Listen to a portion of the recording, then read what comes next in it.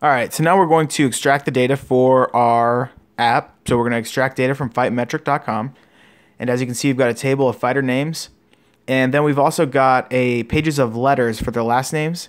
So the first step that we're going to do is we're going to iterate pages. So we're going to iterate through these letters. So we're going to click A, click B, and you can see that CloudScrape recognizes that these are links. And we're going to add suggestions. Then we're going to come down and loop through elements. And then we're going to step forward. Now we need to do is actually click into the letter. So we're going to do a click element. Now we're going to let, let this load. And now we're going to do is we're going to click anywhere in the table because we're going to use uh, CloudScrape's extract table. We're going to scroll down and click extract table. Now CloudScrape recognizes the header values, so we don't even have to change those. But on the height and weight that has a period, so we do want to remove that. So we're going to remove that scroll down and click OK. Now CloudScrape is building our robot. And let's go ahead and take a look at the results. And as you can see, we're getting results, but there's HTML in some of the results. So what we're going to do is we're going to go back to the steps, and we're actually going to click on the action and open up the options. So we're going to click edit, scroll down, and on this box, we've got a lot of different options, but we're going to use remove HTML. So we're going to come down, do the same thing for these elements, remove HTML. Again, for nickname. And for height.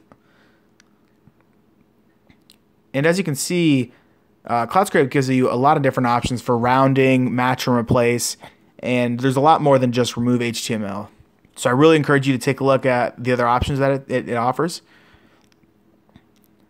So come down, remove HTML. Let's take a look at the results and see how it's running. So we're going to restart our robot.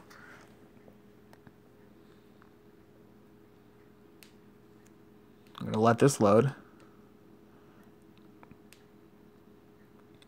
And now we're going to press play. And hopefully we have no HTML in these values. And as you can see, perfect. First name Tom, Aaron, no HTML, 155 pounds. Perfect. So we're going to let this run a little bit to make sure it's working. And I'm confident it's working, so we're going to stop it. We're going to save our robot. And now what we're going to do is hit close, come back to projects, and we're going to create a new run. So click new run. We're just going to call it run. And now we're going to open the options. And just to speed it up a little bit, we're going to increase the simultaneous executions. And then we're going to save it, come to the executions panel, and actually execute. So let's take a look at the data and see if we can get some uh, real-time scrape data. So we're going to reload results. So still nothing. still doing its thing. Reload. Okay, we're starting to get some fighters. So we have two there. Now we have 14. And as you can see, every time we hit reload, it's, it's adding more fighters. And we've got all those columns that we defined earlier with the table. Now we have 75 fighters.